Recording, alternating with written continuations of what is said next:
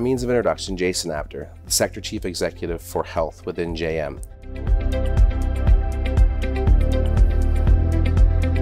Johnson Matthey helps groundbreaking drugs make it to market quickly um, in, a, in a couple of different ways. Um, first of all, when you look at our business, we have business both with um, new new pharmaceutical products, our innovator businesses, um, as well as generic pharmaceutical products. So we help um, bring drugs to market quickly on the innovator side by really partnering with various pharma and biotech companies and helping them develop their molecules um, and then subsequently commercializing those and, and supporting them through clinical trials. On the generic side, we actually uh, help bring new generic versions of existing molecules to market by really working with partners um, and, and leveraging our scientific uh, ability to navigate the patent landscape and bring more affordable solutions of existing molecules to market quickly.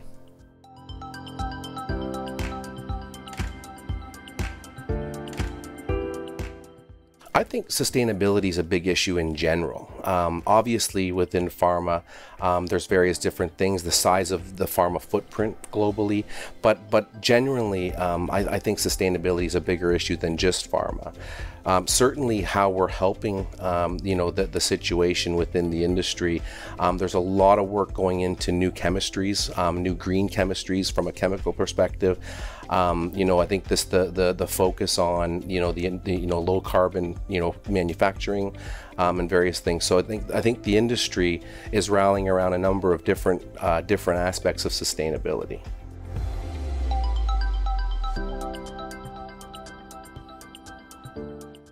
Yeah, definitely. Johnson Matthey has a really um, you know, broad and, and, and, and I think great vision with the sustainability. Um, when you think about it, we've, we, we're looking from a Johnson Matthey perspective at the entire value chain of sustainability, not just what happens in the four walls of our production site.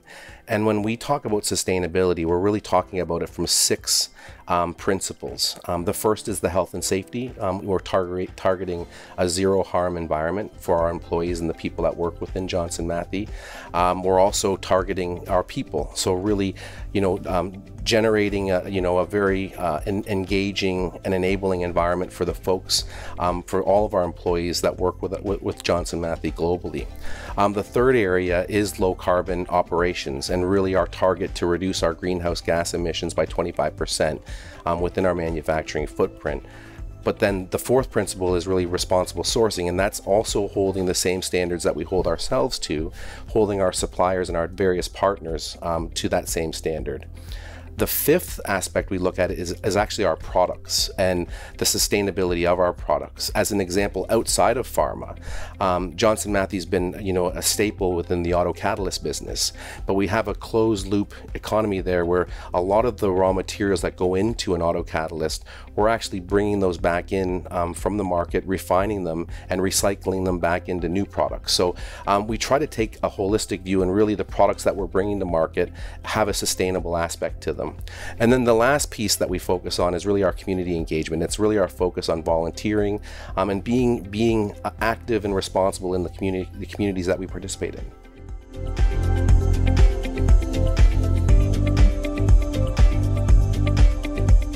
The most exciting development in the pharmaceutical industry? That's a tough question, but I think I would say there, there's a number of different things, but one of the ones that resonates with me is is the, the continued emergence of new new classes of drugs, or what I call novel modalities.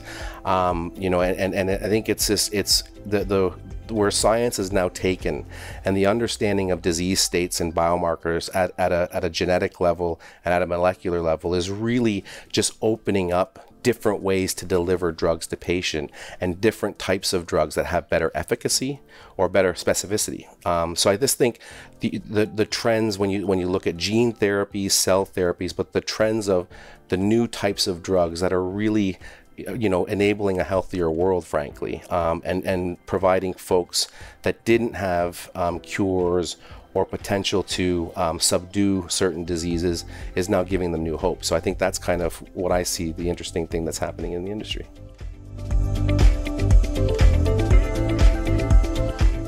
From a Johnson Matthey perspective, you know, our plans for 2020 are to continue to stay the course um, for the health sector. Um, you know, I think, you know, and, and, I'm talking about specifically the health sector within JM, but it, it's it's essentially to stay the course that we've that we've set. Um, it's continue to focus on, you know, enhancing our core business um, and and really running our business better and being a better manufacturing partner to our customers and development partner.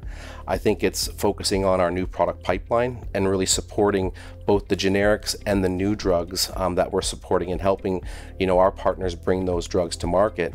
And then lastly, it's really continuing to build out our capabilities. There's tremendous amounts, amounts of value um, and areas of science that we can continue to expand and invest in to really bring more value to our customers. So um, from a 2020 perspective, we're going to continue our same journey and continue to drive value in those ways.